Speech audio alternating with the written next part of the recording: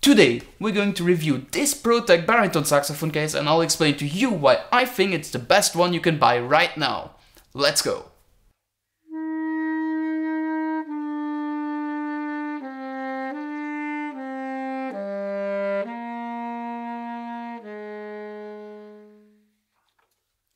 Hey, what's up guys, Joris Rompen here, welcome back to another video. Today we're going to review the Protec PB311 CT bari Sax case and it took me ages to memorize that name.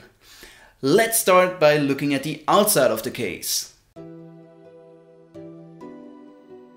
The first thing you'll see is the front pocket, which opens up with zippers and on the inside you can see small sections where you can put your pencils and other small stuff in. I personally like to keep my boxes of reeds and all other kinds of small pieces of gear like cigarette paper, tuners, for those of you who use them, or some tools to fix the saxophone in this pocket. The two compartments also have zippers, so good job Protec! This is actually really useful. The gear is really well kept and not being thrown around all the time. The one minus about this pocket is that the three slots for pencils and other markers are enclosed on the bottom end, meaning that if you slide in any smaller type of pencils, they slide right through and out again on the other side. I have no clue who thought that this would be a good idea. Like, why? It literally makes no sense. But anyway, Moving on, we have a second pocket on the back of the case, which is also zip closing and is a little larger. This is where you'll be able to keep all your sheet music and whilst it may seem small on camera, don't worry, A4 sheets fit perfectly and you can even go slightly larger than that. Finally, a baritone case with a sheet music pocket. I love it. To carry the case around, you can do it the obvious way and carry it with the handle, which to be honest feels really nice in your hand, or you can opt for the included shoulder strap, which you can adjust to fit your shoulder perfectly. This shoulder strap attaches to the metal rings you can see on the outside of the case and the metal really gives you a feeling of quality. You can also carry the case as a backpack, but there's a catch. Whilst the attachment points for the back straps are present on the case, the straps aren't included. Yes, you heard that right. You have to buy the backpack straps separately. Doesn't make much sense, but it's also not that big of a deal. More on that later. Oh, and finally, the last way you could carry the case around is by using the top handle, which is much less comfortable than the main padded one, but hey, who carries a baritone around like that anyway? It's an additional feature which can be useful from time to time, so I'm really happy they included it. For those of you wondering, no, there are no wheels on this case. So if you were planning on rolling your case around, you'll have to look out for another one. But keep in mind that rolling the case is only actually useful when the surface you're rolling on is very flat. You definitely don't want to roll it outside because the vibrations from the ground going into the wheels aren't good for your horn. Another disadvantage is that the case cannot stand upright by itself. You always have to lean it against something, hold it, or simply put it on the ground. In my opinion, this isn't actually that big of a deal either though. Protec also provided multiple rubber feet on the case for all kinds of situations and even there you can see that the case definitely wasn't designed to stand upright.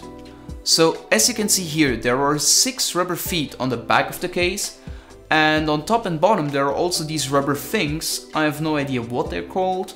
If you know, let me know in the comments. But my guess is that they should prevent the case from slipping when leaning it against a wall for example. Okay, let's finally open the case. So first you have to open the handle, then you move on to what they call the quick lock, which is supposed to lock the case even if it's unzipped, which can be handy to move the case around when the bari is not inside, because the sole fact of someone doing it with the bari in there gives me uh, personally already anxiety. Finally, you have the two large zippers, which can be locked in case you're traveling, and which are very comfortable by the way. Then you can open the case and the first thing you'll get to see is blue. It's blue everywhere. And I think that now's the time to mention that you actually cannot get the case in any other colors from what I've seen. So black outside and blue inside seem to be the only option, but It's only really bothered me a little bit the first week or so, then you get used to it. Anyway, so inside you'll find one huge compartment for the saxophone with no other separated compartments for other gear, except for the blue bell pouch, which is included to keep your mouthpiece and neck with the horn.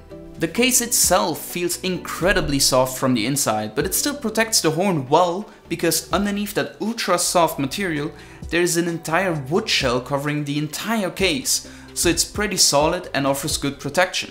No joke, this is one of the hardest cases I've seen even though it doesn't look like it from the outside. It also isn't a very heavy case, coming in at approximately 6 kilograms or 13 to 13 and a half pounds when empty. The next thing that seems to be a disadvantage is that the case seems to be a little larger and doesn't seem to hold a saxophone well at first sight. But that's not really true actually. As you can see, there's still a lot of empty room left when I put my bari in the case, and you can see that I can still move it around a little bit. However, I have to say that I never had any problems with this so far, but I also generally don't put the bell pouch inside the saxophone's belly but I use that and larger gear items like my harness for example to fix the saxophone to make sure it can't move anymore, especially before larger travel sessions. It probably doesn't give you the same hold as a case molded for your specific model would maybe do, but it certainly does the job very well and in over a year of usage now it hasn't damaged my saxophone in any way, which is the main concern people could and should have I believe. Oh, and have I mentioned yet that this case will fit literally any baritone saxophone, whether it's low B flat or low A, everything goes in here. Before covering the price, I'll add that obviously the case is water resistant and it also comes with a little gimmick for travelers. This little ID tag. As you can see I've never filled in mine, but hey, it's there and who knows, maybe you'll need it at some point. Anyway, Moving on to the price, this is where this case actually becomes really attractive, because I've seen it priced for around 270 euros or about $300 at the time of recording this video. Now this is pretty competitive considering the other cases by manufacturers like the BAM Hi-Tech for example costs more than twice that amount. The only thing you need to consider are the extra 25 bucks for the back straps, which I definitely recommend you get.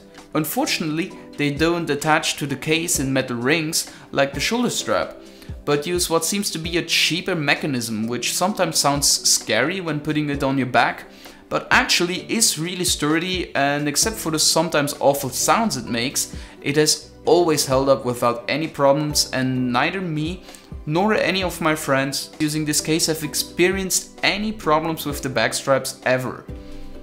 Alright, so let's sum up once more the most important pros and cons of this case to allow you to look at the big picture. But before we do that, may I just remind you to remember to hit that subscribe button if you want to see more saxophone related content.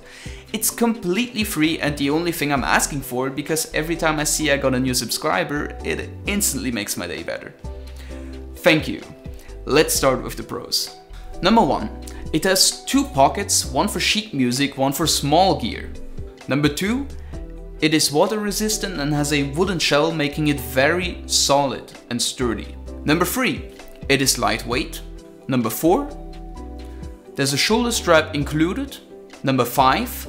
It fits any baritone saxophone whether it's low B flat or low A. Number 6. It can be used as a backpack if you buy the extra backpack straps.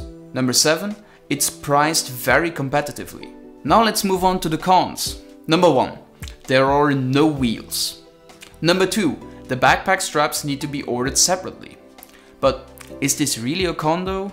It's just two extra clicks, but let's just keep it in here for now. Number 3.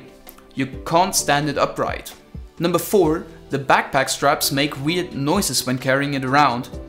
This doesn't impact its functionality whatsoever though. Number 5. The saxophone isn't molded in perfectly and can move if there aren't any other pieces of gear to hold it in place. The included pouch already does a very good job on its own, by the way. Number 6. There's only one color option. Number 7 and probably the biggest disadvantage is that I'm not sponsored by Protec to say any of this.